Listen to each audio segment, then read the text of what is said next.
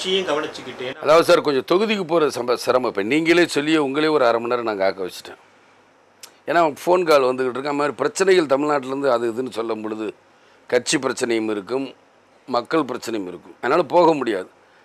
சில நேரத்தில் நாலு மாதம் மூணு மாதத்துக்கு ஒரு தடவை போவேன். சில நேரம் மாதம் மாதம் போயிடும். அப்படி போக முடியாத நேரத்தில் என் மனைவியை நான் அனுப்பி போய் தொகுதி மக்களை பார்த்துட்டு வர சொல்லுவேன் சார். உங்க தொகுதிக்கு நீங்க நல்ல திட்டம் செஞ்சா நல்ல பேர் வந்துடும் என்பதற்காக திமுக அரசு மறைமுகமாக யாராவது முட்டுக்கட்டை போடுகிறதா? மறைமுகமாக இல்லை நேரடியாக முட்டுக்கட்டை போடுது. எதுவுமே செய்யக்கூடாது இவங்களுக்கு. செஞ்சா விஜயகாந்துக்கு பேர் யார் ஏற்கனவே அவன் சுயமாக நிறையா இது செய்கிறானே அதனால செய்யக்கூடாதுன்னு அவங்க ரொம்ப முட்டுக்கட்டை போடுறாங்க. ஒரு இன்னைக்கு பார்த்தீங்கன்னா என்னுடைய பிறந்த தினத்தை வந்து வறுமை ஒழிப்பு தினம்னு இருக்கேன் இருபத்தஞ்சாம் தேதி அவங்க செவத்தில் எழுதுறாங்க.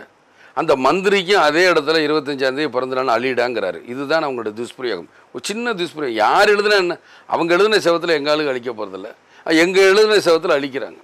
அப்போ இந்த ஒரு எழுத்துக்கே எவ்வளோ பிரச்சனை இருக்கும் பொழுது எவ்வளோ முட்டுக்கட்டு இருக்குன்னு நீங்களே பாருங்கள் சாதாரண பிரிட்ஜு திறக்கும் போது கூட பேருக்குத்தான் எங்களை கூப்பிடுவாங்களே தவிர விஜயகாந்தை வாங்க விஜயகாந்தை வாங்கம்பாங்களே தவிர மீதி எல்லாத்துலேயுமே வந்து அவங்க முட்டுக்கிட்டு தான். இன்றைக்கி பேரிகார்டு நான் கொடுத்துருக்கேன். ஒரு ஐம்பது பேரிகார்டு நான் வச்சுருக்கேன். ஐம்பது பேரிகார்டு யாருக்காக வச்சுருக்கேன்? குழந்தை ஸ்கூலில் வந்து போகும்போது ஆக்சிடென்ட் ஆகும் பஸ்ஸு லாரி வேகமாக வருது. அந்த ஸ்கூலுக்கு தடுப்பு போடணுங்கிறதுக்காக அந்த பேரிகார்டு நானே ரெடி பண்ணி கொடுத்தா விஜயகாந்துங்கிற பேர் இருக்கு போடாதீங்கன்னா நான் தெரியாமல் கேட்குறேன் எத்தனை கம்பெனி பேர் உள்ளது போர்டு இருக்குது அப்போ அவங்களுக்கெல்லாம் போர்டு நீங்கள் வாங்கி வைக்கலையா? அது டிஜிபிகிட்ட முறையாகவே நாங்கள் சொல்லிட்டோம். போய் பண்ருட்டி ராமச்சந்திரன் போய் முறையாக போய் கம்ப்ளைண்ட் கொடுத்தாரு. இன்றைக்கி வரைக்கும் நாங்கள் சொல்லி மூணு மாதம் ஆச்சு அதை எடுக்க ஒன்றுமே வழி இல்லை. சட்டத்தில் இடம் இருக்கான்னு பார்க்குறேன் என்ன சட்டத்தில் இடம் இருக்குது ஊர் பூரா யார் கவர்மெண்ட் வச்ச பேரிகார்டாக இருக்குது அவன் தனியார் வச்ச பேரிகார்டு இருக்குது என் தொகுதியில் நான் வைக்கும்போது என் பேர் எழுதல என்ன தப்பு இருக்குது அப்படி வைக்கிறேன். அதே நேரத்தில் பார்த்தீங்கன்னா என்னுடைய ஒரு கோடி இருபது லட்ச ரூபாய் எம்எல்ஏன்னு போடணும். இந்த தொகுதியில் இந்த இது நான் பண்ணியிருக்கேன் அப்படின்னு சொல்லி போடணும். ரோடு போட்டிருக்காரு தண்ணி வசதி கொடுத்துருக்காருன்னா அந்த எம்எல்ஏங்கிற பேர் இல்லாமல் பண்ணணுங்கிறது அவங்களுடைய எண்ணம். ஸோ இவ்வளோ முட்டுக்கட்டையிலையும் நான் முன்னேறிக்கிட்டு தான் இருக்கேன். நான் இவங்களை பற்றி நினைக்கிறதில்ல. இப்போ பார்த்தீங்கன்னா நான் ஒரு பத்து கோயில்களை நானே தத்து எடுத்து அதில் முடிக்க முடியாத கோயில்களை முடிச்சுக்கிட்டு இருக்கிறேன். அப்படி முடிக்கிறேன்னு சொன்னு தான் உடனே திமுக அரசு சொல்லிச்சு கோயில்களை புனரமைக்கும்னு சொல்லி உடனே ஒரு புக்கை போட்டு சட்டசபையில் வச்சாங்க. அது இதுக்கு முன்னாடி என்னைக்கா நீங்கள் பார்த்துருப்பீங்களா? திமுக அரசில் அப்படி பண்ணியிருக்காங்கன்னு பாருங்கள் நீங்களும். இப்படி அவங்க முன்னுக்கு பின் முரணாக எது எது அப்படி என்னுடைய தேர்தல் அறிக்கையிலே நீங்கள் பார்த்து நான் என்ன சொல்லணும் அதைத்தான் இன்றைக்கு வரைக்கும் திமுக அரசு நிறைவேற்றிக்கிட்டு இருக்கேன் தவிர அவங்க சொன்ன அந்த மூணு திட்டத்தை தவிர மீதி எதுவுமே பர்சனலாக எதுவும் செய்யலை. நான் சொன்ன சட்டசபையில் பேசுகிறோம் சரி என்னுடைய தேர்தல் அறிக்கையில் வந்தது தான் அவங்க பேசிக்கிட்டு இருக்காங்க. சரி உங்களுக்கும் முதல்வர் கலைஞர் அவர்களுக்கும் ஒரு உறவு- எப்படி இருக்கிறது? இந்த விஷயத்தெல்லாம் நீங்க அவர்கிட்ட பேச வேண்டியதானே நான் அந்த மாதிரி நல்ல விஷயங்கள் செய்யும் போதெல்லாம் இடைஞ்ச பண்றாங்க அப்படிங்கறத நீங்க அதெல்லாம் சொல்லி அழுத்தாச்சு. பேப்பரில் நேரடியாக போட்டாச்சு. அவர் என்ன பேப்பர் படிக்காதவரா அவரே? பத்திரிக்கை ஆசிரியர் சொல்கிறாரு கவிஞருங்கிறாரு. இதெல்லாம் படிக்காமையா இருப்பார். நாங்கள் எத்தனை தடவை சொல்லிட்டேன். ஒரு எம்எல்ஏவாக இருந்து நான் அதிக தடவை மந்திரிகளையும் முதலமைச்சரையும் பார்த்து மனு கொடுத்து நான் ஒருவனாக தான் இருக்க முடியும் தவிர இந்த க- இந்த சுதந்திரம் வாங்கின அறுபது வருஷத்தில் அதிகமாக மனு கொடுத்துருக்கேன். அதை செஞ்சு கொடுங்கன்னு சொன்னால் அது விஜயகாந்தா தான் இருக்கும். இதுக்கு மேலே என்ன வேணும் நான் சொல்லும் ஒரு மந்திரிகிட்ட போகிறேன் முதலமைச்சர்கிட்ட போனால் சரி. ஒரு கட்சியின் தலைவர் நினச்சி எல்லா மந்திரி ரூம்லையும் போய் நான் நீட்டிட்டு செஞ்சு கொடுங்க செஞ்சு கொடுங்கன்னு சொல்லிட்டு வரேன். இதுக்கு மேலே என்ன வேணும்? அப்புறம் சட்டசபையிலும் படிக்கிறேன். என் தொகுதிக்கு இது வேணும் இதுக்கு தொகுதிக்கு இது வேணும்னு சொல்லணும் சரி டைட்டானியம் விஷயத்துக்கு வருவோம். டைட்டானியம் தொழிற்சாலை தூத்துக்குடி பக்கம் வரணும் அப்படின்னு ஒரு குரூப்பும் வேண்டான்னு ஒரு குரூப் சொல்றாங்க. கவர்மெண்ட் வந்து வரணும் அப்படிங்கிறாங்க. ஒவ்வொரு கட்சியும் தன் தனித்தனியாக தன்னுடைய குழுக்களை அமைக்க அனுப்புகிறார்கள். சார் இதுக்கு முதல் காரணம் நீங்க எப்படி பாக்குறீங்க? அதிமுக திமுக ரெண்டு கட்சிக்கும் உள்ள சண்டை தான் இதற்கு காரணம் முதல்ல. போன ஆட்சியில் ஒரு தனியார் ஒரு தனியார் எடுத்து நடத்தினதை விட்டார். ஏன்னா அதே அந்த தனியார் யாரை தனியார்னு சொல்கிறாங்களோ அந்த தனியார் வந்து முதல்ல திமுகவுக்கு சப்போர்ட்டாக இருந்தார். போன தடவை அதிமுகவுக்கு சப்போர்ட்டாக இருந்தார். சார் அவர் சிறுக சிறுக ஒரு ஏக்கர் ரெண்டு ஏக்கர் எடுத்துக்கிட்டு இருந்ததில்ல டாடா கம்பெனி மொத்தமாக பத்தாயிரம் ஏக்கர் வருதுங்கும் போது இது திமுக அரசு கொண்டு வருது. திமுக அரசு கொண்டு வரணும் அவங்க அங்கே கலப்புறாங்க அவங்க வந்து அதை வ- வரவிடாமல் தடுக்கிறாங்க. ஏன்னால் ருசி கண்ட பூனைன்னு சொல்கிற மாதிரி அவங்க சம்பாரித்து பழகிட்டாங்க. எப்படி இவங்களை தனிப்பட்ட விடுவாங்க? அதை விடுறதில்ல. எல்லா கட்சிக்காரங்களும் இப்போ தான் இந்த தொகுதி மேலே அக்கறை இருக்க மாதிரி போய் போய் என்ன அந்த மக்களுக்கு வாழ்வதாரன்? அப்புறம் எதற்கு உலக பொருளாதார மையம்? பொருளாதார மையம் இவங்களே பிரிச்சுக்கிறாங்க எல்லாத்தையும் சொல்லிக்கிறாங்க. அப்போ ஒரு இப்போ இப்போ இப்போ வந்து சார் விவசாய நிலம் அவர் கூட சொல்கிறாரு இன்றைக்கி நோபல் பரிசு பெற்ற பெண்ணை பற்றி சொல்கிறாரு முதலமைச்சர். இப்போ கூட கலைஞர் கூட சொல்கிறாரு நோபல் பரிசு பெற்ற அமிர்தாசனை பற்றி சொல்கிறாரு அங்கேயும் விளைநிலங்கள் போனாலும் விவசாயம் மட்டும் மிக தொழிற்சாலையும் வேணும்னு சொல்கிறாருன்னு சொல்கிறாங்க அங்கே இருக்கிறது வந்து நீங்கள் பார்த்தீங்கன்னா எல்லாமே வந்து விளைநிலங்கள் கங்கை யமுனா இது ஏதோ பாயிறதுனால எல்லாம் விளையும் ஆனால் இங்கே அப்படி இல்லை. விளைநிலங்கள் கொஞ்சம் ந- நஞ்ச நிலம் வானம் பார்த்தமே பிரித்து பிரிச்சிருக்கு. ஆகையினால தான் மக்களுக்கு அந்த சந்தேகங்கள் வருது. அங்கே தே அங்கேயே எல்லா நேரம் விளைஞ்சிக்கிட்டு இருக்கையிலே தொழிற்சாலை வரக்கூடாதுங்க போகும்போது இங்கே எப்படி இருக்கும்? அதனால் இங்கேயும் தேவை. அது மக்களின் தேவைகள் அறிஞ்சு நீங்கள் செய்யுங்கன்னு தான் சொல்கிறேன் மக்கள் பயப்படுறாங்க. அந்த பயப்படுறதுக்கு யார் காரணம்? ரெண்டாயிரத்தி ரெண்டுலேயே எப்போ அங்கே வரப்போகுதுன்னு தெரிஞ்சோன்னே எல்லா கட்சிக்காரனும் உள்ளே பூந்து முதல்ல பரப்பி விட்டாங்க தப்பு தப்பாக மக்கள்கிட்ட. இது வந்தால் போயிடும் இது வந்தால் நிலத்தடி போயிடும் பாலைவனம் ஆயிரும் அதாயிரும் இதாயிரும் எல்லாம் சொல்லிட்டாங்க. அங்கே போகிற மக்கள் என்ன சொல்கிறாங்க தெரிஞ்சுங்க? ஒன்று சூட்கேஸ் வாங்குறதுக்காக வராங்க ஒவ்வொரு கட்சிக்காரனும். இல்லை சூட்கேஸ் வாங்கிட்டே வராங்கன்னு சொல்கிறாங்க இதுக்கு நீங்கள் என்ன பதில் சொல்லுவீங்க? இதுக்கு ஆதாரம் இருக்கான்னு கேட்பீங்க எதிர்கட்சிக்காரங்கள நான் எங்கே ஆதாரத்தை நிர்வகிக்க முடியும்? சொல்கிறவங்க தைரியமாக என்கிட்ட சொல்கிறாங்க அதே இது ப பகிரங்கமாக சொல்லுவாங்கன்னா தெரியாது. ஒரு ஊரில் குட்டம்னு ஒரு ஊரில் எல்லாத்தையும் பேசுகிறாங்க பேசுகிறவங்ககிட்ட ஒரு ஒரு இதை கேட்கணும்னு சொல்லி திரும்பி பார்க்குறேன் காணும். யாரையுமே இல்லை. அப்போ அது செட்டப் பண்ண மாதிரி தெரியும் இது வந்து அந்த ஊர் மக்களை மொத்தமாக சேர்ந்து கெடுத்துட்டாங்க. அப்புறம் ஜாதிங்கிற ஒரு பொருளை உள்ள புகுத்தி அதையும் வேற கெடுத்துக்கிட்டு இருக்காங்க. இது வந்து மக்களுக்கு தேவையே இல்லை. தொழிற்சாலை வந்தாங்கன்னு சார் இது. ஒவ்வொரு என்னுடைய தேர்தல் அறிக்கையில் சொல்லியிருக்கேன். ஒவ்வொரு மாவட்டம் மாவட்டந்தோறும் தொழிற்சாலை வரும். இது என்னுடைய தேர்தல் அறிக்கை. ஏன்னு சொல்கிறேன் இன்றைக்கி ஒரு ரெண்டு ஏக்கர் நிலம் இருக்குன்னு வைங்க. ஒரு நானே ஒரு தாய் தகப்பனாக இருந்திருக்கேன். அந்த ரெண்டு ஏக்கர் நிலத்துக்கு எனக்கு தான் சொந்தம். எங்கள் பூர்வீகம் எழுதுறாங்க. எனக்கு கல்யாணம் ஆகுது எனக்கு பிள்ளைக்குட்டி பிறக்குது. அந்த பிள்ளைக்குட்டிகளும் பிள்ளைக்குட்டி பிறகு அதே ரெண்டு ஏக்கர் வருமானத்தை வச்சு என்னால் நடத்த முடியுமா? அப்போ அவங்களும் பிள்ளைகளை படிக்க வைக்கிறாங்க. அந்த படிப்புக்கு தகுந்த வேலை வேணுங்கும்போது ஒரு தொழிற்சாலை வரணும். ஆனால் இந்த தொழிற்சாலையில் நான் கேட்குற மாதிரி பத்தாயிரம் பேருக்கு வேலையான்னு கிடையாது ஆயிரம் பேருக்கு தான் அவங்க வேலைங்கிறாங்க. மீதி மூவாயிரம் பேருக்கு பின்னாடி ஒப்பந்த அடிப்படையில் எடுக்கிறேங்கிறாங்க. ஆனால் ஏழு கிராமம்னு சொல்கிறாரு முதலமைச்சர். ஏழு கிராமத்தில் பத்தாயிரம் ஏக்கர் எடுக்க அதில் நிறையா விளைச்சல் நிலை இல்லாத தான் எடுக்கிறேங்கிறாரு. நான் என்ன கேட்குறேன்?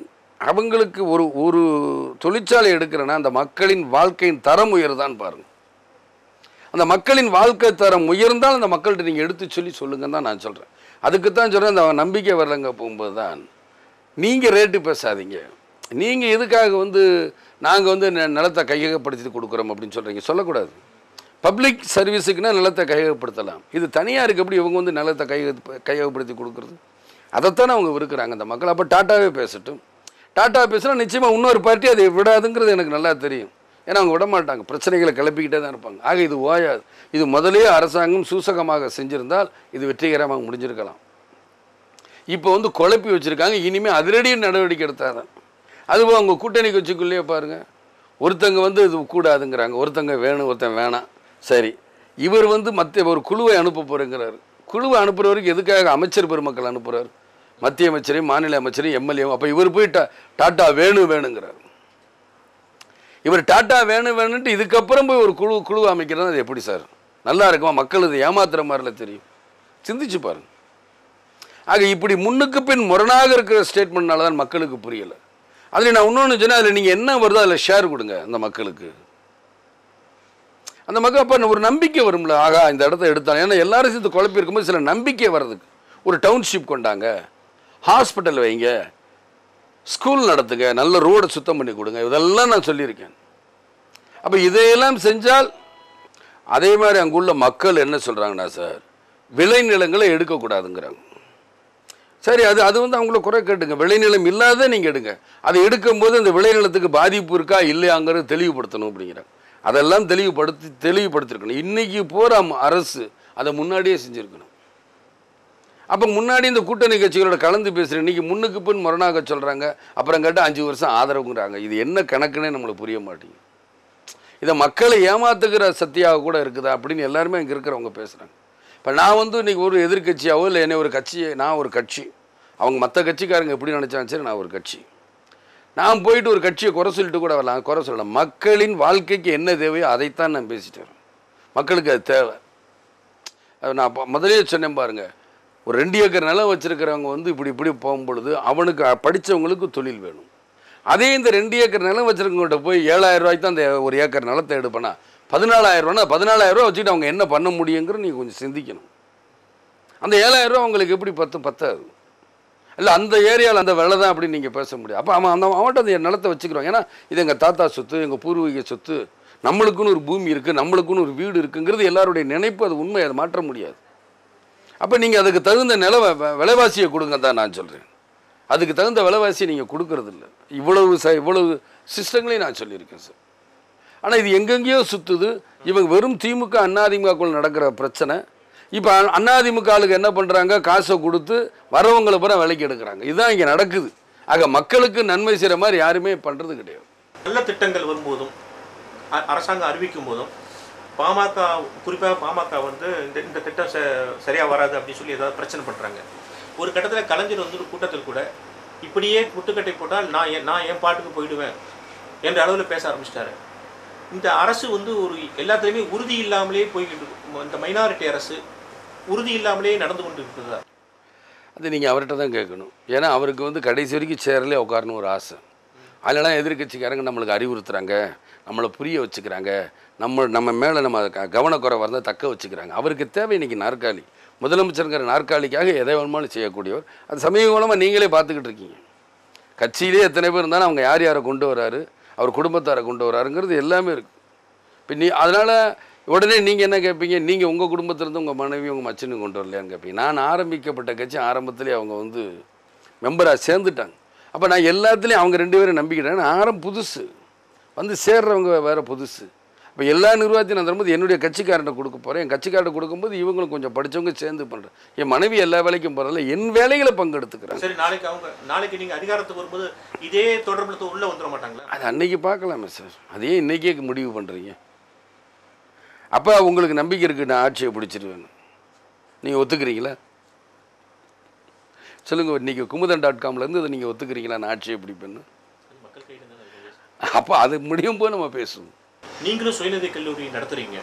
இப்போ இந்த சுயநிதி கல்லூரி விஷயத்துல முதல்ல கவர்மெண்ட் வந்து எந்த தவறு நடக்கவில்லை. கேபிடேஷன் வாங்கினா ஆதாரம் தான் சொல்லுங்கள்னாங்க அதுக்கப்புறம் எதிர்க்கட்சிகள் ப்ரெஷர் கொடுத்ததுக்கப்புறம் ஆமாம் இப்போ சில கல்லூரியெல்லாம் இந்த மாதிரி வாங்குறாங்க. நான் நடவடிக்கை எடுக்க போகிறேன் அப்படின்னு சொல்றாங்க. ம். இந்த விஷயத்தை நீங்க எப்படி பார்க்குறீங்க? சரி நான் காலேஜ் வைக்கிறனால இதை பற்றி பேசுறது கிடையாது சார். நான் ஏன்னா இவர் ஏதோ விஜயகாந்துக்கு ஒரு காலேஜ் இருக்குது பேசுகிறாரு அப்படின்னு.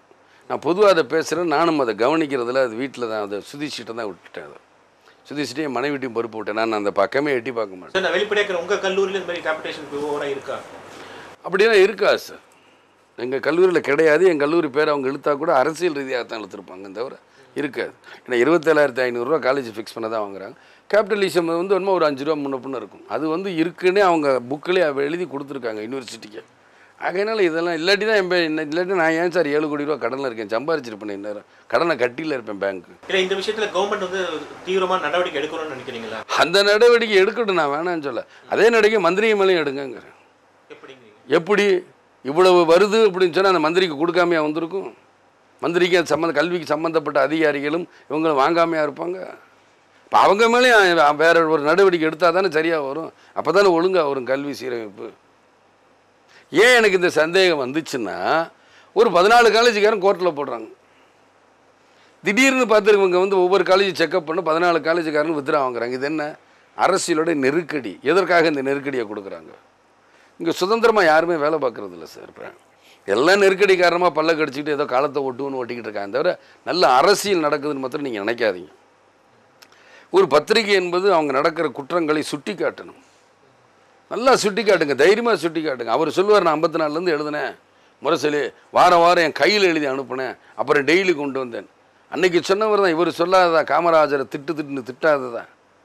ஒரே பேர் தான். காந்தி தான் நேரு. நேரு குடும்பம் தான் ஆளணுமா ஆளணுமான்னு கேட்டவர் தான். அவங்க வாரிசே வரணுமான்னு சொன்னவர் தான். இன்னைக்கு இவங்க வாரிசை இவர் கொண்டு வர்றாரு அதே நேரு இவங்க குடும்ப கூட்டணியை வச்சுக்கிட்டு தான் செய்கிறாரு ஆக நாட்டில் எல்லாமே கண்துடைப்பு நடக்குது சார். எனக்கு சுத்தமாக பிடிக்கிறது இல்லை மக்களுக்காக என்ன நீங்கள் குரல் கொடுக்குறீங்க? சும்மா அரசு அரசு சொல்றதுக்கு தைரியமாக எதுக்குன்னா எடுத்துட்டு வெளியே வந்துடணும் யாராக இருந்தாலும். சரி அண்மை கால பாமக திமுக மோதலையும் இந்த கண்துடைப்பா நீங்க பாக்குறீங்களா? ஆமாம் என்னை பொறுத்த மட்டும் கண்துடைப்பு தான். சும்மா அதெல்லாம் ஃபோக்கஸ் காட்டிக்கிட்டு இருக்காங்க எல்லாரும். எங்கே இந்தியாபுரம் தான்? நான் இதை மாத்திரம் ஏன் சொல்கிறேன் இந்தியாபுரம் ஃபோக்கஸ் தான் காட்டிக்கிட்டு இருக்காங்க. வேணுமா உடனே சொல்லுவாங்க இவன் சினிமா நடிகை இவனுக்கு என்ன அரசியல் தெரியும்னு. எல்லாருமே இப்படி நினச்சிக்கிட்டு இருங்க சினிமா நடிகை அரசியல் தெரியாது தெரியாதுன்னா கடைசியில் உங்களுக்கு அரசியல் தெரியாமல் போயிடாம. அதுவும் பார்த்துக்கிறோம். அவங்க சொல்கிறாங்க நான் அதை பற்றி நான் சிந்திக்கல. அவங்களுக்கு தெரிஞ்ச அரசியல் அதான். என்னை சினிமா நடிகைன்னு சொல்லிட்டு சொல்லிட்டு போகலான்ட்டு மக்களை கொள்ளையடிக்கிற அரசியலாக பண்ணிக்கிட்டு இருக்கிறாங்க. அது தப்பு. மக்களுக்கு என்ன தேவை? இன்றைக்கி எங்கேயோ போயிடுச்சு சார். ஒரு சேலம் கோட்டத்தை வந்து இன்றைக்கி வந்து எதுக்குதுன்னு சொல்கிறாங்க அங்கே இருக்கிற கம்யூனிஸ்ட் கட்சி முடியாதுங்கிறாங்க. நான் கேட்குற கம்யூனிஸ்டின் கொள்கை என்ன? உலகம் பூராம் தொழிலாளர் ஒற்றுமை. இங்கேயும் தொழிலாளர் தான் இருக்கான் அங்கேயும் தொழிலாளர் தான் இருக்கா அப்போ எது சேலங்கோட்டை வர வச்சா என்ன? அதே மதுரை கோட்டம் இருக்குது மதுரை கோட்டம் திருநெல்வேலி கன்னியாகுமரி நாகர்கோவில் தூத்துக்குடியெல்லாம் திருவனந்தபுரத்தோட சேர்ந்துருக்கு. இங்கே கொண்டாங்கங்கிறேன். ஏற்கனவே ஒரு ஆறடி தண்ணிக்கு பிரச்சனை இருக்குது அதை திரும்ப மதுரைக்கு கொண்டான்னு நான் கேட்குறேன். ஏன் கேட்குறேன்னா இன்றைக்கி வந்து நீங்கள் வந்து பார்த்தீங்கன்னா இங்கே ஹார்பர் வருதுங்கிறீங்க நாங்குநேர் தொழில்பேட்டை வருதுங்கிறீங்க. ஒருவேளை டாட்டா நேரு நாளைக்கு வந்தால் எல்லாமே ஏற்றுமதி இறக்கும் ஏதாவது ட்ரெயின் போக்குவரத்து இதில் இருக்கும் பொழுது அது ஏன் நம்ம மதுரை கூட்டத்துக்கு வரக்கூடாது? இது எல்லாமே அரசியல் உணர்வில் தான் சார் செய்கிறாங்களே தவிர கரெக்டாக மக்களுக்கு தேவை தேவை இல்லை அதெல்லாம் பார்த்து பண்ணுறது ஆனால் ஒன்று மாத்திரம் அடித்து சொல்லு. இந்த இன்றைக்கி ஓரளவு சட்டத்தை போடுறாங்கன்னா தேசிய முற்போக்கு திராவிட கழகம் இருக்கிறதுனால தான் இவ்வளோ சட்டங்கள் வருது. ஏனென்றால் ஒவ்வொரு இடத்துலையும் புது புது கட்சி உருவாகும் போது ஒவ்வொரு ஸ்டேட்லையும் பயம் வருது. ஆளுகின்ற கட்சி எல்லாத்துக்கும். இப்படி மாற்றிங்க சட்டத்தை இப்படி போட்டுக்கிறோம் இப்படி வச்சுக்கிறோம் அப்படி வச்சுக்கிறோம்னு சொல்கிறாங்க அதே மாதிரி இப்போ பார்த்தீங்கன்னா இப்போ அணு ஒப்பந்தம். இது கூட நான் விரும்ப மாட்டேன். அணு ஒப்பந்தம் என்பது என்ன? இராணுவ ரகசியம். இராணுவ ரகசியத்தை எப்படி வெளியே சொல்கிறது அது நல்லவும் இருக்கும் கெட்ட கெட்டது கெட்டது இருக்கும் கெட்டது இருக்குன்னு நீங்கள் நினைக்கக்கூடாது அப்புறம் ஒரு முதலமைச்சருக்கு முதல் முதல் ஒரு ஒரு திட்டத்தை போடுறாரு. அது அவருக்கு சக்ஸஸ்ன்னு நினைக்கிறாரு. இதில் நோண்டி நம்ம வந்து பல பிரச்சனைகள் ஒருத்த ஒரு செட்டார் அமெரிக்காவுக்கு ஆதரவும் ஒரு செட்டார் ரஷ்யாவுக்கு ஆதரவும் வச்சுட்டு போட்டு மொத்தத்தையும் குழப்பக்கூடாது நாட்டை. பல ப்ராடு திங்கின்னு சொல்லுவாங்கள்ல ரொம்ப விரிவான சிந்தனையை வச்சுக்கிட்டு அதை பார்க்கணும். அது கரெக்டாக தப்பா இல்லையா ஏது? எதற்காக இதை செய்கிறாங்க அந்த அறிக்கையை பார்த்து தான் சொல்லணுங்கிற அவசியம் கிடையாது சார். நம்ம நாட்டின் நடப்பு வெளிநாட்டோட கலாச்சாரம் நம்ம கலாச்சாரம் அந்த நாட்டோட நடப்பு அந்த நாட்டோட பட்ஜெட் எல்லாத்தையும் பொருளாதாரத்தை எல்லாம் பார்த்து நீங்கள் தனிப்பட்ட முறையில் சிந்திங்கங்கிற. இது நல்லதா கெட்டதா? அதற்கு வந்து யாரும் காரணம் சொல்லாமல் அது உடனே நீங்கள் சட்டசபையில் வச்சு வா விவாதம் பண்ணுங்கனால் அதில் பல இஷ்யூ இருக்குது நான் இல்லைன்னு சொல்ல வரல. பல பிரச்சனை இருக்குது எனக்கு தெரிஞ்ச அறிவுக்கு நான் சொல்கிறேன் பல இஷ்யூஸ் வந்து அவன் அமெரிக்கா ஏன் நம்மளை தேர்ந்தெடுத்தான்? இதில் நல்லா புரிஞ்சுக்கணும். அணுகுண்டு வெடிக்காதுன்னு சொல்ல வெடிச்சுக்கலாம் தேவை ஏற்பட்டால்னு வர சொல்லியிருக்காங்க. நல்லா படித்து பார்த்துக்கணும். அப்போ அதே உங்களுக்கு ஒரு ப்ளஸ் பாயிண்ட் தானே? மற்றவங்களுக்கு இருக்கிற சட்டத்தை விட நம்மளுக்கு இருக்கிற சட்டங்கள் நிறையா இருக்கு சார். நான் நான் இதையும் பிரச்சனைன்னு வரும்போது நானும் விலாவாரியாக பேசுவேன். இப்போ அதை பற்றி விலாவாரியாக பேச வேணாம் நினைக்கிறேன். இருந்தாலும் சொல்கிறேன் இதுதான் அரசியல்வாதிகள். சரி உங்க உங்க கட்சிக்கு வருவோம். தேமுதிக நீங்க ஆரம்பிச்ச போது நினைச்ச அளவுக்கு இன்றைக்கு வளர்ந்ததுன்னு நினைக்கிறீங்களா? நல்லா வளர்ந்துருக்கு சார். நல்லா வளர்ந்துருக்கு. எனக்கு நம்பிக்கை இருக்குது அப்படியே அப்ப இந்த நம்பிக்கை இருக்கிறனால நான் தைரியமாக இருக்கிறேன். இல்லை அதுக்கு அடுத்து சார் இந்த நம்பிக்கை இருக்கிறனால நான் கூட்டணி வைக்காமல் இருக்கேன். இப்போ கேளுங்க. சரி தேமுதிகங்கிறது நீங்க எந்த- தொகுதியில நீங்கள் உங்க சமீப கால இட இடைத்தேர்தல் பார்த்தீங்கன்னா எந்த தொகுதி நின்றாலும் குறிப்பா அது தென் மாவட்டங்கள் இருக்கும்போது உங்களுக்கு பதினஞ்சாயிரம் ஓட்டுக்கு மேலே விழுது. எல்லா தொகுதியிலுமே நிறைய ஓட்டு விழுகிறது உண்மைதான். ம். எல்லாத்துலயுமே நீங்க சோ நியர் எட் சோஃபார் என்பது போல வெற்றிக்கு கிட்டே போய் போய்விட்டு திரும்பி தோற்று விடுகிறீர்கள் இது வந்து இப்படியே போனா ஒரு கட்டத்துல தொண்டர்களுக்கெல்லாம் சோர்வாகி விடாதா? சோர்வே வராது சார். நாங்கள் ஜெயிச்சுக்கிட்டே வரோம். அதாவது நீங்களே சொல்கிறீங்க பதினஞ்சாயிரம் ஓட்டு இருபதாயிரம் ஓட்டுன்னு இது முதல் தேர்தலேருந்து பார்த்தீங்கன்னா கூடிக்கிட்டு தான் இருக்குது குறையில. அதனால் சோர்வு வராது. அப்புறம் நாங்கள் சந்தித்த ஒரே ஒரு தேர்தல் தான் பொது தேர்தல் மீதியெல்லாம் இடைத்தேர்தல். இந்த இடைத்தேர்தல் எப்படி நடக்கும்? இல்ல இடைத்தேர்தல் இவ்வளவு இல்ல, இவ்வளவு தூரம் வந்திருக்கோம்ல. இல்ல இவ்வளவு கான்சன்ட்ரேட் பண்ணி நீங்க நீங்க தனிப்பட்ட முறையில் அதான் வந்திருக்கோம்ல. ஆமாம் அந்த இடைத்தேர்தலில் பொது தேர்தலாக இருந்தால் நாங்கள் ஜெயிச்சிருப்போங்க. தேர்தலான தமிழ்நாடு முழுக்க மறந்துட்டீங்களா? இல்லை இன்னும் சார் முதல் தடவை தான் சுற்றினேன் அதுக்கப்புறம் சுற்றலை நல்லா நீங்கள் புரிஞ்சுக்கணும். முதல் ஒரு பொ இடைத்தே முதல் பொது தேர்தல் தான் வந்தது. தமிழ்நாடு பூரா நான் சுற்றிட்டு வந்தேன். அதுக்கு நல்ல ஓட்டு விழுந்தது. இருபத்தெட்டு லட்சம் மக்கள் கிட்டத்தட்ட ஓட்டு போட்டாங்க. அதுக்கு அடுத்தலாம் இடைத்தேர்தல் ஆளுகின்றவர்கள் அவங்க பிரச்சனை அவங்களுடைய அதிகாரம் பணப்பலத்தை வச்சு அவங்க ஜெயிப்பாங்க. அதற்கு முறைகேடு உள்ளாட்சி தேர்தல் என்ன நடந்துச்சு? நீங்களே பார்த்தீங்க எல்லாரும் சொல்லி அவர் காது கேட்காம அதெல்லாம் சரியாக தான் நடந்துச்சு. அன்றைக்கி இருந்த கூட்டணி கட்சி இந்திய மார்க்சிஸ்ட் கம்யூனிஸ்ட் கட்சியை சொல்லும்போது கூட ஏற்றுக்கல ஆனால் ஒரு நீதி அரசு சொன்ன ஒத்துக்கிட்டு உடனே அவசர அவசரமாக அறுபதுக்கு மட்டும் தேர்தல் வைக்கிறார். அப்பயும் அடாதடி தேர்தல்கள். அதையும் மீறி நான் நாலு சீட்டு அஞ்சு வந்தோன்னே ஒருத்தனை உடனே விலை கொடுத்துவாங்க? அவன் அஞ்சு வந்திருக்கவே கூடாது தேமுதிக. அது என்ன பண்ணணும் இன்றைக்கும் க கவுன்சிலில் விலை பேசுகிறாங்களே அதோட என்ன தத்துவம் அரசியல் தத்துவம் சொல்லுங்கள் உங்களுக்கு தான் முழு மெஜாரிட்டி கிடச்சிருக்கு. அந்த முழு மெஜாரிட்டி கிடைச்சதுக்கப்புறமா அவன்கிட்ட எவனுமே இருக்கக்கூடாதுன்னா அதற்கு என்ன? இதை விட இன்னொரு கொடுமை நடக்குது. இந்த தேமுதிக ஆட்சி வந்து நின்றுச்சு அப்படிங்கிறக்க அவன் தொகுதிக்கு எதுவுமே பண்ணாதேங்கிறாங்க. மாவட்ட கவுன்சிலரும் பதினஞ்சு இருபது பேர் ஜெயிச்சிருக்காங்க. அவங்களுக்கு எந்த தொகுதியும் பண்ணாதேங்கிறாங்க. இவதுக்கு பேர் முதலமைச்சரா? இதுக்கு பேர் திமுக அரசா? நான் தெரியாமல் கேட்குறேன். ஆக என் கட்சி வளர்ந்து தான் சார் இருக்கு. நான் இன்றைக்கும் சொல்கிறேன் அந்த பொது தேர்தல் மாதிரி இடைத்தேர்தல் நடந்தோம்னா நாங்கள் ஜெயிச்சிருப்போம். நான் நிச்சயமாக சொல்லுவேன் ஆனாந்தப்பட்ட எம்ஜிஆர் சின்ன சின்ன சமயத்தில் பெரிய கட்சிகளோட கூட்டணி வச்சு தான் ஜெயிச்சார். அப்படி இருக்கும்போது நீங்க வந்து எனக்கு கூட்டணியே வேண்டாம் அப்படின்னு பேசுறதுங்கிறது ஒரு ஒரு விதத்துல வீராப்பா சொல்லலாம். வீராப்பெல்லாம் இல்லை சார் சார் நீங்கள் தான் பழையவங்களெல்லாம் எடுத்து பாருங்கங்கிறீங்க. அந்த காலத்துலேருந்து நான் வீராப்பே சொல்ல அதுக்கு முன்னாடி இந்த பெருந்தலைவர் காமராஜர் யாரு கூட கூட்டணி வச்சார் சொல்லுங்க.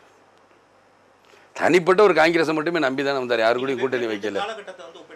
அப்போ இந்த காலகட்டத்தை ஏன் ஒப்பிடுறீங்க? ஒப்பிடாதீங்க. அந்த கேள்வியே தப்பு தானே நீங்கள் சொல்கிறத சார் காமராஜர் என்பது ஒரு காலம் எம்ஜிஆர் என்பது ஒரு காலம். விஜயகாந்த் என்பது ஒரு காலம் தானே. இப்போ காலகட்டம் அவர் இறந்து இருபது வருஷம் ஆச்சுல்ல ஒரு கிரகமே பதினெட்டு வருஷம் தானே நல்லது பண்ணுதுங்கிறான் அதில் நான் அப்படியெல்லாம் பேச மாட்டேன். நீங்கள் காலம்னு சொன்னீங்க. உங்கள் கேள்விக்கு தான் நான் பதில் பேசுகிறேன் ஒவ்வொரு காலகட்டத்தில் மக்களோட இது என்ன? அந்த நினைப்பு தான் நம்ம பேசுகிறோம் தவிர எம்ஜிஆரோட பவர் இருக்கா சக்தி இருக்கான்னு நான் பேசுகிறேன் நான் எம்ஜிஆரை நேசிச்சவன். நான் அவர் விட்டு கொடுத்து பேசுவேனா? விட்டு கொடுத்து பேசவே மாட்டேன். நீங்கள் கூட்டணி வந்து வேண்டான்னு முதல்ல சொல்லிட்டீங்க. கூட்டணி நான் தனியாகவே நிற்பேன்னு சொல்லிட்டீங்க. ஆனால் இப்போ வந்து நம்ம அந்த மாதிரி ஒரு ஸ்டேட்மெண்ட் சொல்ல தப்பு கூட்டணி இல்லாமல் இந்த தமிழ்நாட்டில் வந்து ஒன்றும் சரியாக ஆனால் நம்ம திமுகவே இன்றைக்கி வந்து கூட்டணி வச்சுட்டு தான் இருக்குது எல்லா கட்சிகளுமே கூட்டணி போது கூட்டணி இல்லாமல் நம்மளால் எப்படி சமாளிக்க முடியுங்கிற ஒரு யோசனை இப்போது வருகிறதா? ஒன்றுமே இல்லை சார். அதான் நல்லதாக தெரியுது எனக்கு. இவங்க செய்கிற அக்கிரமங்கள்லாம் மக்களுக்கு தெரியுதுல்ல. கூட்டணி பேர் வச்சுக்கிட்டு இருக்க செய்கிற தப்புகளாம் மக்களுக்கு தெரியுதா இல்லைங்களா? சொல்லுங்கள் வந்துரு மக்கள் மனநிலை மாறத்தானே செய்யும். இருக்கு. மக்கள் மனநிலை ஏமாறா சார். நான் முதலே உங்கள்கிட்ட சொல்லியிருக்கேன். புத்தரும் இந்தியாவிலிருந்து போனவர் தான். புத்தர் இங்கே தானே பிறந்தார் சார். அதில் ஒரு இதாக மாற்று கருத்து இருக்கா? காந்தி இங்கே தானே பிறந்தார். அந்த புத்த மதம் ஏன் இங்கே நிற்கல புத்த மதத்தை விட்டு அவர் போயிடுச்சு ஆனால் அதே இந்தியாவில் ஒன்று சேர்க்க முடியல புத்தரால். ஆனால் காந்தி ஒன்று சேர்த்தாரா இல்லையா? அது தன்னம்பிக்கை. அந்த தன்னம்பிக்கை நான் அதான் அவர் காந்தி வழியை நான் அந்த தன்னம்பிக்கையை நான் ஏற்றுக்கிறேங்க அந்த தன்னம்பிக்கையோட போகிறத ஏன் நீங்கள் வந்து தப்புன்னு சொல்கிறீங்க கூட்டணி வச்சாதான் ஏன் ஜெயிக்க முடியும் ஜெயிக்க முடியும்னு நீங்கள் பேசுகிறீங்க எனக்கு அதுதான் புரியலை. அரித்மேட்டிக் வந்து எல்லா நேரமும் ஒரே மாதிரி இருக்காது. இப்போயே நீங்கள் எவ்வளோ பாடத்திட்டங்களை மாற்றிட்டீங்க ரெண்டாயிரத்தி ரெண்டில் ஒரு பாடத்திட்டங்கிற ரெண்டாயிரத்தி நாலில் ஒரு பாடத்திட்டங்கிறீங்க. அந்த அர்த்தமெட்டிக் நாளைக்கு மாறாதுங்கிறது என்ன நிச்சயம்? நம்முடைய நம்முடைய மக்கள் வந்து சின்ன சின்ன ஆதாயங்களுக்காக சார் நீங்கள் ஒன்று ஒத்துக்க சார் அர்த்தமேட்டிக்குங்கிறீங்க ஐம்பது வருஷமா இருந்த அர்த்தமேட்டிக் நீங்கள் சொல்லுவீங்க. ஆனால் இப்போ வந்து இளைஞர்கள்லாம் அர்த்தமேட்டிக்கை மாற்றினான்னு நீங்கள் என்ன பண்ணுவீங்க? அந்த ஓட்டு அவங்களுக்கு அதிகமாக போக போக நீங்கள் என்ன பண்ணுவீங்கிறது என்னுடைய கேள்வி. அந்த இளைஞர்களுடைய ஓட்டு கூட வந்து எல்லாமே உங்களுக்கு எல்லாம் இல்லை எப்படியோ மாறுதில்ல. அதைத்தான் நான் கேட்குறேன் மாற்றம் எங்குனாலும் போகட்டும். அந்த மாற்றங்கிறது ஒன்று வரும்ல. சரி ஜெயலலிதா அவர்கள் வந்து பகிரங்கமா உங்களுக்கு அழைப்பு கொடுத்தால் ஏற்றுக்கொள்வீங்களா முதல்ல அழைப்பே அவங்க கொடுக்க மாட்டாங்க. அப்புறம் எதுக்கு ஏற்றுக்கொள்ளிக்கலான்னு கேட்குறீங்க அவங்க அழைப்பே கொடுக்க மாட்டாங்க. அப்படி ஏற்றுக்கிறேன் சார். நான் வந்து என் கட்சியிலேருந்து எல்லாருமே சொல்லி பழகிட்டாங்க. எங்கள் முதலமைச்சர் வருங்கால முதல்வர் நீங்கள் வாங்க எங்கன்னு எப்படி அவங்க என்னை ஏற்றுக்குறாங்க முதல்ல? அவங்க சிஎம் கேண்டிடேட் அது மாதிரி என்னுடைய கட்சிக்கு என்னை சிஎம் கேண்டிடேட்டுங்கிற போது எப்படி நீங்கள் ஏற்றுக்குறீங்க அங்கேயும் முரண்பாடு இருக்குது அதுக்காக நான் அவங்கள குறைச்சோ இல்லை என்னையை நான் உயர்த்தியோ நான் பேசவில்லை. முரண்பாடான ஒரு இதை நான் வந்து மக்கள் அவங்கவுங்க கட்சியில் இருக்கும் ஏற்றுக்கிட்டாங்க அதை. அந்த முரண்பாட்டுக்குள்ளே எப்படி வர சொல்கிறீங்க ஸோ நீங்கள் இந்த இந்த கழகங்கள் ரெண்டுமே வெறுக்கும்போது காங்கிரஸ் வந்து உங்களுக்கு ஓரளவு கிட்ட வரும்போது காங்கிரஸோட கூட்டணி வைக்கலான்னு தோன்றுறது உங்களுக்கு முதல்ல அவங்க விட்டு வரட்டும் அப்புறம் அதை பற்றி பேசுவோம் சார். வர முடியுமா? அப்படிங்கிறது அவங்க எண்ணங்கள்லாம் திங்க் பண்ணிட்டேன் அதுக்கு முன்னாடி ஏன் என்னையை கேட்குறீங்க அவங்ககிட்ட அதை போய் கேட்டால் நல்லா இருக்கு. ஏன்னா அவங்களாம் தேசிய கட்சி தேசிய பாரம்பரிய கட்சி பெரிய கட்சிக்கிட்ட அந்த கேள்வியெல்லாம் நீங்கள் கேட்டிங்கன்னா நல்லாயிருக்கும் ஏன்னா அவங்க தான் இதுக்கு பதில் சொல்லணும். நான் பதில் சொல்கிறத விட அவங்க தான் பதில் சொல்லணும். தேசிய கட்சி தான் பெரிய கட்சி தான் பதில் சொல்லணும். நீங்கள் சினிமாவில் இருக்கும்போது அரசியல் வேறு மாதிரி பார்த்துருப்பீங்க. ஆனால் நீங்கள் அரசியலில் இறங்கி போது ரொம்ப கஷ்டமாக இருக்கு. கஷ்டமாக இல்லை சார் நான் பிர சின்ன வயசுலேருந்தே நான் பிரச்சனைகளை சந்தித்து பார்த்து வந்தேன் சார். நான் சின்ன வயசில் நான் எல்லா உதவிகளும் நான் பண்ணியிருக்கேன். எவ்வளோ பிரச்சனைகளை பார்த்துருக்கேன். என் குடும்பம் ரொம்ப பெருசு. பன்னெண்டு பேர். குடும்பத்தில் என்னென்ன பிரச்சனை வரும் அந்த பிரச்சனை எப்படி சாதிக்கணும்? எங்கள் அப்பா இருக்கிற வரைக்கும் நாலு பேருக்கு முடிஞ்சது. மீதி எட்டு பேருக்கு நான் தான் கல்யாணம் பண்ணி கொடுத்தேன். என்னுள் உள்பட. அந்த பிரச்சனைகளை நான் பார்த்துருக்கேன். பிரச்சனைகளை சந்திச்சிருக்கேன். இது போல் நடிகர் சங்க தலைவராக இருந்திருக்கிறேன். அதுலேயும் பிரச்சனைகளை பார்த்துருக்கேன் பிரச்சனைகளை சந்திச்சிருக்கிறேன். சினிமாவை பற்றி எல்லாமே எனக்கு தெரியும். ஏன்னா சினிமா என்பது ஒரு நாலு அஞ்சு பேர்த்துக்குள்ளே தான் இருக்குது பெப்சி டிஸ்ட்ரிபியூட்டர் ப்ரொடியூசர் தேட்டருக்காரங்க நடிகர் சங்கம். இந்த அஞ்சுக்குள்ளே தான் இந்த அஞ்சை உணர்ந்து போகணும் யாராக இருந்தாலும் இது பண்ணணும். அதனால் இதெல்லாம் நான் பார்த்து பழகி போயிட்டேன் சார். அதனால் இதில் வந்து நான் வந்து வெறுப்படையலை சந்தோஷமாக தான் இருக்கேன். ஆனால் சினிமா என்பது ஒரு துறை. இந்த துறையிலேருந்து அரசியலுக்கு போகும்போது இதை விட ஒரு பத்தாயிரம் பங்கு நம்ம நிறையா பொறுமையும் நிறையா கற்றுக்க இழப்புகள் இதில் சம்பாரிச்சாலும் இழக்க வேண்டிய பல சூழ்நிலைகள் இருக்குது அதெல்லாம் தாங்கிக் கொள்ளும் மனப்பக்குவம் இருக்கணும் யாராக இருந்தாலும். அதனால் எனக்கு வந்து ரொம்ப ஈஸி மூணியம் குடும்பமாக இருக்கட்டும் சினிமாவாக இருக்கட்டும் அரசியலாக இருக்கட்டும் எனக்கு ஒரு பெரிய இஷ்யூ கிடையாது. நான் ஏன்னா என்னை எப்படி பார்த்தாங்களோ அப்படியே தான் மக்கள் இங்கே இருக்கிறவங்க பார்க்குறாங்க. நினச்ச நேரத்தில் வராங்க நினச்ச நேரத்தில் போகிறாங்க ஸோ விஜயகாந்தோட குணம் மாறல. நம்ம அம்மா போவோம் தலைவரை பார்த்துக்குறோம் அது பண்ணிக்கிறோங்கிறாங்க. நடிகரை பார்த்துக்குறோம் இப்படி போய்க்கலாம் வச்சுக்கலாங்கிறாங்க. இதுதான் இருக்குது சார். இன்னைக்கு தேர்தல்ங்கிறது ரொம்ப காஸ்ட்லியான ஒரு விஷயம் ஆயிடுச்சு ஆமாம் சார். இன்னைக்கு வந்து உங்களுக்கு கூட்டணியும் கிடையாது. ஒவ்வொரு தேர்தலிலும் நீங்க வந்து எக்கச்சக்கமா செ கோடிக்கணக்காக செலவு பண்ணாதான் வந்து உங்க ஒரு இடத்த தக்க வைக்க முடியுங்கிற ஒரு கட்டாயம். இப்படி செலவு பண்ணிட்டே இருந்தேன்னா என்ன பண்ணுவீங்க? இப்போ நீங்களே சொல்கிறீங்க பாருங்க ஒரு பத்திரிக்கைக்காரங்களா இருந்து தப்பு பண்ணுறது எவ்வளோ தெளிவாக சொல்கிறீங்க இல்ல அப்படி ஒரு நிலைமை இல்லை தப்பு பண்ணுறது எவ்வளோ தெளிவாக சொல்கிறீங்க அதை கூட இந்த தேர்தல் கமிஷன் கவனிக்காமல் இருக்கு பாருங்க. இவ்வளவு செலவு பண்ணி இவ்வளவு இருந்தால் தான் ஜெயிக்க முடியும்னா அப்போ அவன் தேர்தல் கணக்கை பொய்யா தானே காட்டுறான். அப்போ நாங்கள் தேர்தல் கணக்கை கரெக்டாக காட்டுறோம். இது ஒரு நாள் மக்களுக்கு புரியும்ல. மக்களுக்கு புரிஞ்சு ஏன் மாற மாட்டாங்க நல்லா சொல்லு. இப்போ நீங்களா இப்போ பணம் தேவை பணம் நிறையா இறங்கி விளையாடுதுங்கிறது தெரியுதுல்ல. இது ஒரு நாள் தலைமை தேர்தல் புரிஞ்சுக்கிறோம் அதுக்கு தகுந்த சட்டத்தை கொண்டு வரோம். மக்களுக்கும் அது புரியும். மக்களுக்கு இப்போ புரிஞ்சிருச்சு. சூழ்நிலை பொது தேர்தல் வரல. பொது தேர்தல் வந்தால் நான் சொல்கிறேன் பிடிக்க முடியும்? சார். என்னை கேட்பாங்க எல்லாருமே மற்றவங்க பேசுகிறவங்களும் அவங்களாம் எதிர்க்கட்சிகள். அப்போசிஷன் பார்ட்டி நான் ஆல்டர்னேட்டிவ் பார்ட்டி நான் மாற்று கட்சியாக வருவேன். அந்த உறுதியில் நான் இருக்கிறேன் சார். ஏன்னா நீங்கள் எல்லாரும் என்னை டீக்ரேட்டாக பேசும்போது நான் உறுதியாக இருந்தேன். கூட்டணி சேரல. முதல் தேர்தல்ல இருந்து இன்றைக்கி நான் அஞ்சு தேர்தலை சந்திச்சிட்டேன். பொது தேர்தல் உள்ளாட்சி தேர்தல் திரும்ப உள்ளாட்சியில் ஒரு பகுதி மதுரை மத்திய தொகுதி மதுரை மேற்கு தொகுதி. மொத்தம் அஞ்சு. இந்த அஞ்சு தேர்தல் நான் சந்தித்ததுக்கப்புறம் நான் எப்படி நான் வீக் ஆகணும்னு நினைப்பீங்க? வீக் ஆகவே மாட்டேன். இன்னும் வளர்ந்துக்கிட்டு தான் இருக்கேன். வள வளர்ச்சி அடைஞ்சிக்கிட்டு தான் இருக்கு என் என்னுடைய மன்றத்தில் இருக்கவங்க தான் இன்றைக்கி கட்சி தொண்டர்கள். அப்படிலாம் சோர்ந்து போக மாட்டாங்க. இன்றைக்கி வரைக்கும் என் கட்சியிலேருந்து எத்தனை அப்படி எத்தனை பேர் அவங்க விலைக்கு வாங்கிட்டு போயிட்டாங்க? நீங்கள் சொல்லுங்கள் இன்றைக்கி கூட என் கட்சியில் சேர்றதுக்கு நிறையா பேர். நான் தான் சேர்க்க மாட்டேங்கிறேன். தொண்டர்களை சேர்த்துக்கிற எனக்கு தலைவர்கள் வேண்டாம் தான் நான் சொல்கிறேன் வந்தவொன்னே அப்புறம் நாளைக்கு பிரச்சனை வரும் பதவிம்பாங்க இதெல்லாம் வேண்டாம். என்னுடைய கண்ட்ரோலுக்குள்ளே எல்லாத்தையும் கொண்டு வரும். நான் என்ன இப்போ எங்கள் எங்களுடைய கட்சியில் கூட சிலர் பதவி படும்போது காசு வாங்குறேன் வைக்கிறாங்க இருக்கும் ஒரு சில இடத்துல. அதுக்கு நான் திருத்திக்கிட்டே தான் வர முடியும். இப்போ தானே ஆரம்பிச்சேன் நம்மளே ஏன் இரண்டாம் கட்ட தலைவர்? நீங்கள் நினச்சிக்கிறதுனால தான். சார் அவங்களும் வருவாங்க மக்களுக்கு. ஈகோ பிரச்சனை இருக்கா? ஒன்றுமே இல்லை சார். மக்கள் ஏற்றுக்கிட்டு அவங்க ரெண்டாம் கட்ட தலைவர் ஏற்றுக்கிற வைப்பாங்க. கொஞ்சம் கொஞ்சமாக தானே வந்துக்கிட்டே இருக்கிறோம். அது முன்ன மாதிரி வந்து இப்போ வந்து மீட்டிங் போகிறத யாரும் ரொம்ப விரும்புறது இல்லை மக்கள். ஒரு குறிப்பிட்ட தலைவர்களுக்கு தான் கூட்டம் இருக்குது அதுதான் உண்மை. எந்த கட்சிக்கு போனாலும். சரி ஒரு காலத்துல காணா போன அமைச்சர்கள் தான் இன்னைக்கு முன்னாள் அமைச்சர்கள்லாம் இன்னைக்கு பின் வழியா சரி விஜயகாந்த் கட்சியில சேரலாம்னு வராங்க. டே, அவங்கெல்லாம் நீங்க ஏன் சேர்க்குறீங்க? எத்த மொத்தம் மூணே பேர். அவ்வளோதான் நானும் முப்பது பேர் சேர்த்த மாதிரி சொல்கிறீங்க மூணு பேர் முப்பது அப்படி பார்த்தீங்கன்னா நான் தெரியாமல் தான் கேட்குறேன் ஊழல் குற்றச்சாட்டை சொன்ன திமுக. எதுக்காக சேடப்பட்டு முத்தியாவை சேர்க்காங்க எதுக்காக அவங்க இந்திரகுமாரை சேர்த்தாங்க? எதுக்காக கே கே சாரை சேர்த்தாங்க? நான் தெரியாமல் கேட்குறேன் சார். இவ்வளவு கேட்குறேன் அக்கறைப்பட்டு என் மேலே. இதே அக்கறைப்பட்டு நீங்கள் அவங்கள கேட்கணும். இருங்க நான் ஒரு நான் ஃபுல்லாக முடிச்சிடறேன். ஏன்னா இவங்க பூரா ஏன் சேர்ந்தாங்க? ஊழல் ஊழல்னு இவங்க கவர்மெண்ட்டில் சொன்ன ஊழல் குற்றச்சாட்டு. இப்போ எதுக்கா இந்த கட்சியில் வந்து சேர்றாங்க?